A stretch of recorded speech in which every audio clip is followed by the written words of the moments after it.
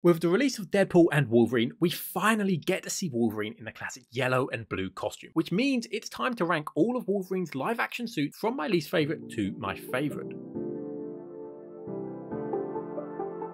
Hello and welcome to Cinemaze, and if you're new here, be sure to subscribe to see more videos like this. Also, there will be spoilers for Deadpool and Wolverine, so if you haven't seen it yet, you've been warned. As always, with my rankings, I need to set out the criteria for what I'm going to include in this ranking. And it's a bit weird with Wolverine, because he hasn't really had many traditional superhero suits. Not in the same way as when I rank Spider-Man or Batman, because for 24 years, it's felt like they've been embarrassed by his comic book look. And so instead of limiting this to just superhero suits, which would be a very short list, I'm going to include his major costume. So this won't be every outfit he's ever worn, but includes the main looks he's had in each film, suits used in action sequences, or any look that seems to reference the comic. And he has to have been wearing it. So sorry to the deleted scene from The Wolverine, because that suit looks good, but we never got to see him in it, so it doesn't count. But you get a special mention here. Also, I'm only looking at live action theatrical film suits, so nothing from animation or fan films or comics. And of course, this is my opinion on the suits, considering their design, their comic connections, their relevance to the story, if they're practical, and it is not my opinion on the films, just their suits. So with that out of the way, let's get right into the ranking. Number 14, the X-Men 1 leather suit. Coming in last place is the first ever superhero suit we see Wolverine in, and that's the suit from X-Men 1. This film was clearly reluctant to go full comic booky, and I understand why. The world they were setting up in X1 was more realistic and grounded, with a focus on what if mutants really existed and their persecution in society, rather than focusing on comic book stuff. But this suit just doesn't feel like the way to go. Sure, this is the era where black leather was cool, but this design just isn't. It looks awkward, it looks uncomfortable, it looks restrictive. So while I understand that they wanted to shy away from comic book bright designs, the design they did go with just looks worse. And so it leaves us in a weird place where it feels like they thought comic suits wouldn't work, but they do a half-hearted attempt to adapt it and they end up creating something that works even less. Since these suits in film, we began to see some leather in the comics like with Ultimate X-Men and Grant Morrison's New X-Men, both in 2001, but these were influenced or told to tie into the film suits rather than the films being influenced by the comics. There are a few nice things on here. Each X-Man gets a different color piping to reference their comic book suits, and Wolverine gets one of the more obvious choices with the yellow like his comic look. And the shape of the piping does reference his comic book suit with the triangular shapes on the side. But ultimately, I just don't think the suit works, and I understand that it was a different time, but surely even at the time, this looked bad. Number 13, Old Man Logan. This is a look that we see during Deadpool and Wolverine while Deadpool searches for a Wolverine to work with, and this one was Old Man Logan. I think this is the least exciting of the alternate versions because we've already kind of seen this look of an older grey Wolverine in Logan. Sure, it was fun to get a more direct reference to the comics. He's got the hat and it feels more western, but we don't really get a good look at this one, and it's just the least interesting. It's fun, but nothing special. Number 12, Age of Apocalypse Wolverine. Next up, we have the Age of Apocalypse Wolverine that we also briefly see in Deadpool and Wolverine. Wolverine goes by the name Weapon X from an alternate future where he lost his hand to Cyclops and he has it replaced with a stump. Now, I'm super happy that we got to see this look on the big screen because there's no way we'd ever get a film with this look properly. So it's a great reference, but ultimately it's an absolutely insane design that just doesn't really look cool to me. It's purposely emphasized to be over the top, and so they adapted it well. I do wish we got to see the claws come out of the stump, but in the film, it's just used as a stump. If you grew up reading this era of comics, then this look might mean more to you. But to me, it's always been a crazy look that I'm glad they referenced, but it doesn't really look that cool. Number 11, the X-Men 2 and 3 leather suit. Now we have the leather suits worn by Wolverine in X2 and X-Men 3 The Last Stand. I think these are slight improvements from the suit worn in X1. This time the leather looks less thick, it has less padding, and so ultimately looks less awkward, restrictive, and uncomfortable. The biggest difference this time around is the large X in the middle of the chest, which wasn't there in X1. This helps to make it feel more like a comic book suit and more of a team uniform instead of some weird biker gang. This was potentially influenced by the Grant Morrison new X-Men comics, which launched a few years before X2, which had the big yellow X's. So there is more of a comic connection with those suits. I do wish X-Men 3 didn't use the same suits again. I think it works better in X2, but I wished X3 continued to develop these suits into something more comic booky. That way we could have seen a gradual evolution of the suits becoming more comic booky as time went on, as the X-Men in the world became more established. And X3 definitely has the least grounded tone, and so I think it could have got away with adding maybe a bit more colour or comic influences into the suit in that third film. Overall, they still have the same issues as the X-Men 1 suit, but with a few minor improvements that bump it up the list. Number 10, the white tank top. The white tank top is one of the most iconic looks for Hugh Jackman's Wolverine, and again, it didn't really have a history of wearing this in the comics before the films, but after the films, we began to see this look make its way into the comics. The look became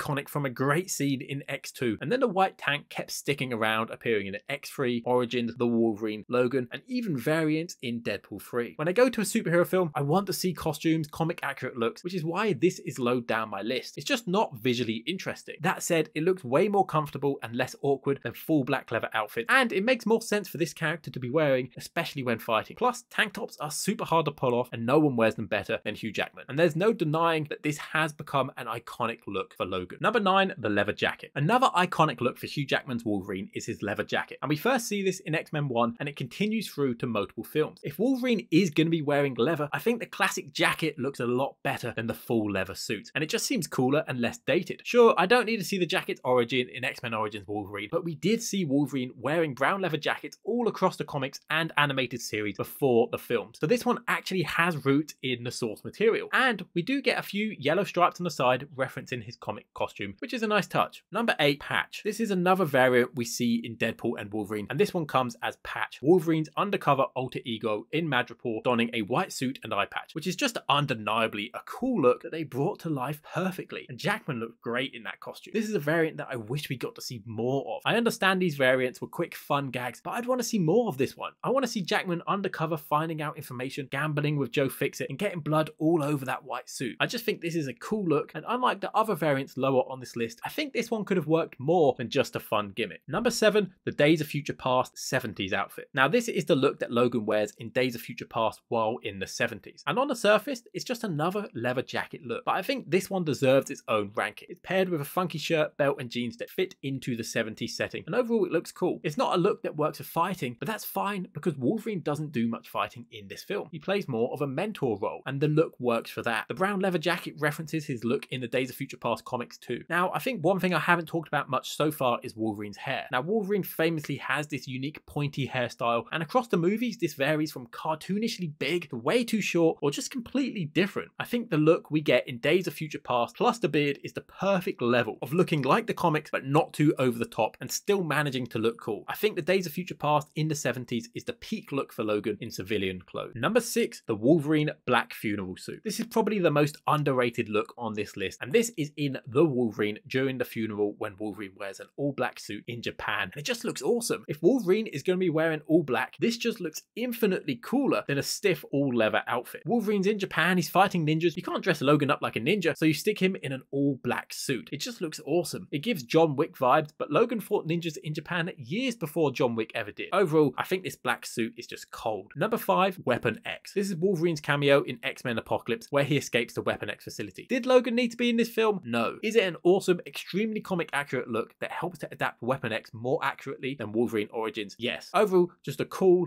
comic accurate look that was nice to see put on screen. Number four, Logan. Next up, we have Logan's look in the film Logan. And this one's a bit of a cheat because he has multiple looks throughout that film. But I'm grouping them all together here because they all represent the look of an older Logan and they reference some of his previous looks throughout his cinematic history. Now, all of these looks have the grey hair and the beard, which Jackman pulls off really well. And of course, it represents the older, aged Logan, while also referencing his old man Logan look from the comics. We see him get to rock the full beard and the more traditional mutton chop by the end of the film. One of the most famous looks from this film is, of course, the suit he wears as a limo driver. It represents Logan trying to live more normally, working a job with a full beard, helping him to hide, but trouble always finds him and drags him back in. It's always fun to see Wolverine kick butt in a suit and potentially references his previous Japan look. And I think this is the coolest look in Logan. But we also see him in a brown jacket, referencing his old man Logan comics look and the history of wearing brown jackets in these films. We see him in an overshirt, like we've seen in the past, and of course, he ends up in the classic white tank top. I like that the film uses his different looks to reference Hugh Jackman's version of Logan's history while honouring the Old Man Logan comics too. Number three, the Days of Future Past future look. Kicking off the top three, it's a suit we see in the alternative post-apocalyptic future at the start of Days of Future Past. And I think this was Wolverine's best superhero suit before we got Deadpool and Wolverine. It has a more armoured look, but despite that, it feels more slim and flexible than his stiff leather outfit. Despite being in a darker future, the suit gives us the most colour, with not only the yellow, but also some blue in there like the comic. It doesn't look restrictive or awkward, it feels like something that makes sense for this character to wear. And I think think the more tactical look works a lot better than the leather suit. We also get to see the grey streak in his hair like we see in the Days of Future Past comics. Now I do feel like this suit would have worked with the mask. I understand them not giving him the mask, but I think this could have worked here. They're in an alternate future, living on the run, hiding from the Sentinels. It would make sense for Wolverine to wear a mask to help with his cover. It's a more comic booky suit, it's more armored, and it's more stealthy. I think if the Fox universe were to ever give us the Wolverine mask, it should have been here. And when you see fan edits of this suit with the mask, I think it could have worked. Now, it's still not completely comic accurate, but it feels less embarrassed by the comic look and colours, and that allows Wolverine to have a suit that feels less awkward and restrictive. It's a shame we don't see much of this suit. There's no real big action scenes or anything, because I'd have liked to have seen more of this, and it's a shame that they only started to find cool ways to adapt Wolverine's costume near the end of his time in the Fox universe. But that leads us on to some of his best suits now that he's made his way to Marvel Studios. Number two, the John Byrne brown and tan suit. At number two, we have the suit worn by a variant of Wolverine used to fight the Hulk in Deadpool and Wolverine, and it looks fantastic.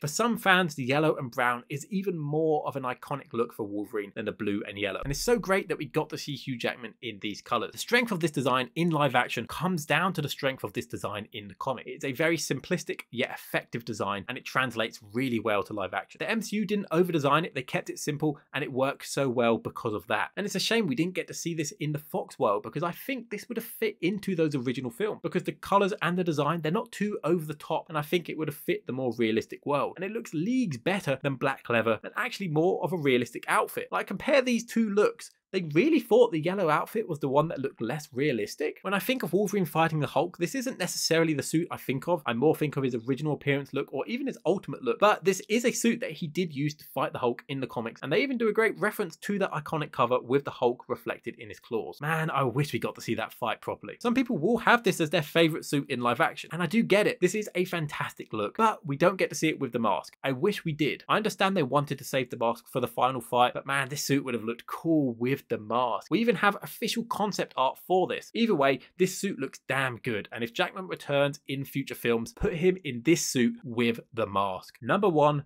the blue and yellow X-Men suit. Of course, the suit we get in the number one spot is the main yellow and blue suit from Deadpool and Wolverine. This suit is fantastic. We waited 24 years to see Hugh Jackman in this suit and it was worth it. The suit proves the fans were right. This looks good. Don't be embarrassed by the comic designs because they do actually work. The suit looks great. It looks realistic. It doesn't look too over designed. Sure, there's a few unnecessary lines here or there and I wish the classic Wolverine triangles on the side were more obvious, but overall they nailed the look of this suit in live action. What's great about it is that we get multiple different looks of it. We get fully sleeved, no sleeves, no sleeves and mask, and even mask and no shirt, which actually has been in the comics. So we got to see different comic looks of Wolverine just from this one suit. Now let's talk about the mask. I'm so glad they included it, and the moment he puts it on is such an effective moment. For the most part, I think the mask looks good. There's certainly some shots and some angles where it looks weird, but overall, I'm glad they went for it, and they even gave him the white eyes. Now it's just down to you, DCU Batman. I think at times it's CGI, and that's when it looks a bit weird. And in the theatre, I couldn't tell if it was all CGI, but we have seen proof that there was a practical mask worn on set. I just don't get why it looks weird at certain moments. Like the official version of this suit and mask worn at Disneyland looks fantastic. So why does it vary so much in the final film? Ultimately, I think it shows the mask can work in live action because for years people said it couldn't be done and they were so close to getting it perfect on the first try. And I even felt like Jackman felt more like Wolverine with that mask on. Even his voice felt more like Wolverine. Jackman was totally transported into the character when he put that cowl on. There was also a lot of talk coming into this film that his arms were CGI too, but again, we've seen photos showing Jackman really did have his arms out and he's always in such phenomenal shape. I do wish, however, that we got to see the sleeveless look, keeping the shoulder pads to really complete the iconic comic look. However, what really cements this suit into the top spot is the story behind it, because this suit is actually important to the version of Logan in the film. He wears the suit to honor his X-Men that he feels like he's failed. And so when he finishes his arc by the end of the film, he's ready to mask up and become the X-Man he always could have been. And it's such a smart way to tie this costume that fans have wanted to see for over 20 years directly into the story, meaning that there's a connection for both the audience and the characters